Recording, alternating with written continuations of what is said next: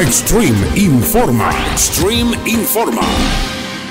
Hola, ¿qué tal amigos de la Z y Latino? Aquí tu compa Conejo Chilanga, las mañanas de la Z, listos para informarte lo que pasa aquí en Austin, Texas, porque somos de Austin y para Austin y siempre estamos local y en vivo.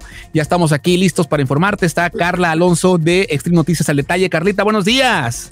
Hola, ¿qué tal chicos? Muy buenos días. Melissa, Conejo, Chilanga. Un beso, buenos días, ¿cómo están? Bien, bien bendecidos, la verdad, y también este, con mucha inquietud para que nos informes de lo que está pasando, lo que pasó el fin de semana aquí en la ciudad de Austin. Pues te cuento que el 31 de mayo, el día de ayer, el gobernador Greg Abbott declaró un estado de desastre para todos los condados de Texas después de que las protestas de George Floyd estallaron en el estado de Texas el sábado y el domingo. Este pasado 25 de mayo, George Floyd, un hombre afroamericano, murió en Powder Horn, un barrio del, del sur de centro de Minneapolis, en Minnesota. Mientras Floyd estaba esposado y acostado boca abajo en la calle de la ciudad durante un arresto, pues bueno, eh, fue cuando ocurrió la muerte de él. La declaración de desastre autoriza a todos los agentes federales a actuar como oficiales de paz de Texas durante las continuas protestas. Un ah, comunicado de prensa también de la oficina del gobernador dice de la declaración que se produce mediante protestas violentas que ponen en peligro la seguridad pública y amenaza la pérdida y el daño de propiedad. Les cuento también que los manifestantes de Austin se unieron por el reclamo de justicia ante el caso de Floyd y también por Mike Ramos, quien el 24 de abril los oficiales de Austin le dispararon eh, a este Michael Ramos de 42 años de edad con un rifle antes de que subiera su automóvil e intentara alejarse de los policías en un complejo de apartamentos cerca de East Orford Street, Alter Street, en el sur, allá en la Plaza en Valley.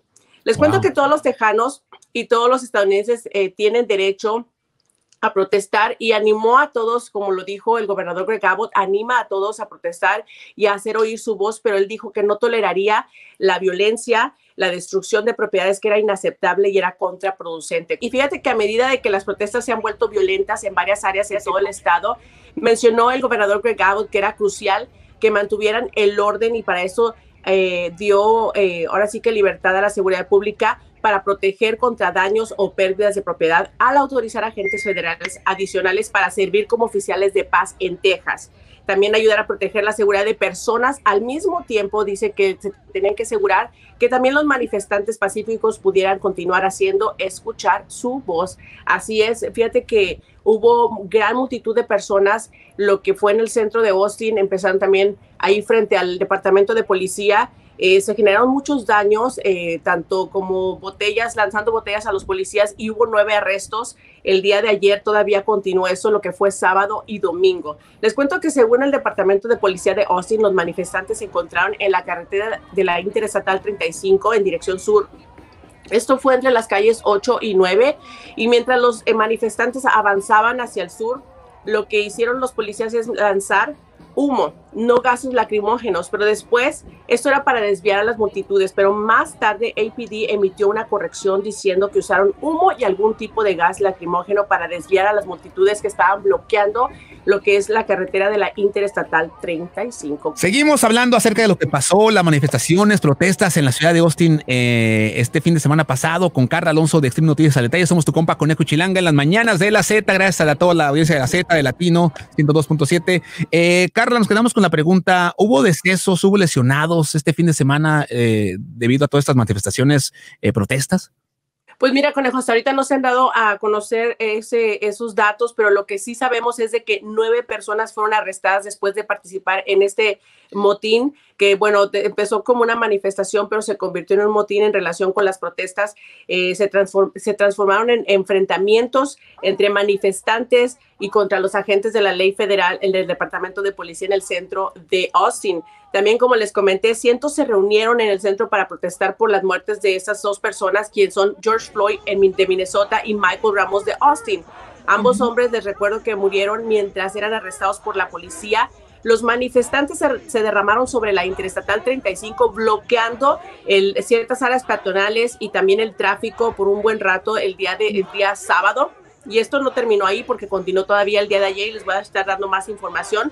Los registros de los arrestos del condado de Travis muestran que nueve personas fueron arrestadas por participar en un motín, delito menor de clase B. Y bueno, los arrestos se realizaron fuera de la sede del departamento de policía que involucraron graffiti, arrojar botellas de, con líquidos. Eh, a la policía. Durante esta protesta, se, que ya que se convirtió en un motín, hace cientos de personas bloqueando el camino, como les mencioné, las áreas patronales, la declaración jurada de arresto, esto fue lo que, eh, lo que arrojó esta información. También se arrojaron piedras, botellas de vidrio, botellas con aguas, eh, con líquidos, no, eh, no sabían qué tipo de líquido era y eso se lo arrojaban también a otros manifestantes. O sea que esto se convirtió también en un problema donde se empezaron a enfrentarse unos contra otros. También en Austin una mujer fue arrestada por arrojar esta botella de vidrio frente a los pies de un policía y a otras dos también las arrestaron por hacer acciones de graffiti ahí en el departamento de policía. Esto no terminó ahí, chicos, les cuento. El domingo por la noche, aproximadamente a las 7:22, el departamento de policía de Austin anunció a través de un tweet que estaban respondiendo a una situación de saqueo activo en Target del Capitol Plaza. Según el tweet, había una gran multitud como haciendo daños a las propiedades. También hubo un gran equipo el día de ayer por la noche eh, trabajando para cerrar las, eh, los escaparates o las, lo que son las, este, las tiendas del domain, eh, como fue alguna de las tiendas como Apple y otras tiendas de marca, de prestigio, según informaron. Como ven, estaban trabajando arduamente para poder prevenir este tipo de, ahora sí que violencia y saqueos que estaban haciendo. También el día de ayer la policía respondió al Lakeline Mall, ya que se registró que estaba viendo gran daño que sufrió la tienda también de Macy's. Esto es este, algo que se suscitó el día de ayer. Esto fue ya que estaban siguiendo las manifestaciones, no nada más el sábado, pero también empezaron el día de ayer, como ven. Wow. Híjole, de todo el movimiento que ha estado durante el fin de semana y no nada más aquí en Austin, sino alrededor, bueno, a lo largo de la nación. Así que eh, nada más mantenernos alertas a todo lo que está pasando, ¿no?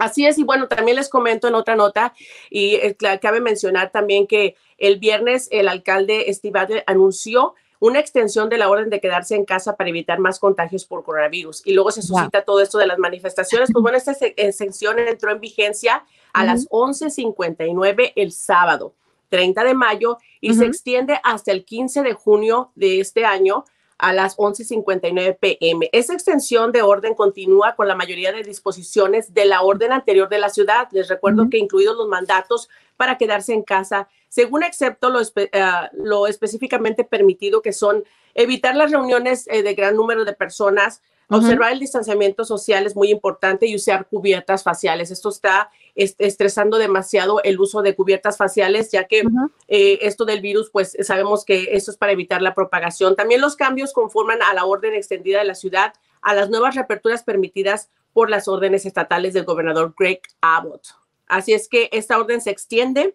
Todavía se van a, se pide el gobernador, el, piden también que pues solamente salgan a hacer cosas esenciales porque ya ven que tras la apertura de varios negocios la gente piensa que ya hay que relajarnos y no, en realidad Steve Adler dice que no tenemos que relajarnos, que esta orden hace que todavía enfaticemos más el uso de máscaras y guardar la distancia. No se permite el, ah, la reunión con más de 10 personas y se exhorta a las personas a tomar esa distancia y usar las cubiertas faciales. Wow. Exacto. Y luego con todo esto de las manifestaciones, nadie tomó su sana distancia, no llevábamos cubrebocas. vamos a ver todavía repercusiones todavía más con todo esto más adelante las semanas venideras. Eh, Carla Alonso, muchas gracias por tu informe en Extremo Noticias al Detalle. Somos tu compa Conejo Chilanga las mañanas de la Z. Eh, también gracias a Latino, a toda la audiencia de Latino. Recuerda compartir este video. Estaremos hablando más y te mantendremos informado de todo lo que está pasando aquí en Austin porque somos de Austin y para Austin. Y estamos local y en vivo. Así es, gracias.